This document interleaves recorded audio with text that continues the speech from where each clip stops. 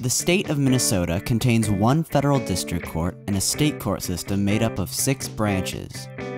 On the federal level, the state is home to the U.S. District Court for the District of Minnesota and its corresponding bankruptcy court.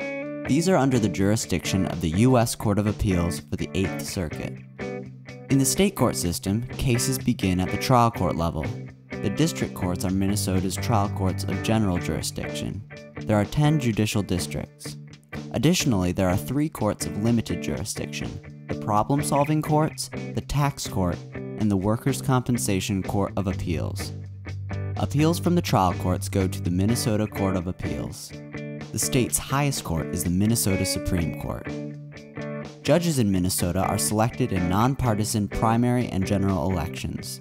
The two candidates who receive the greatest number of votes in the primary advance to the general election. Midterm vacancies are filled by gubernatorial appointment.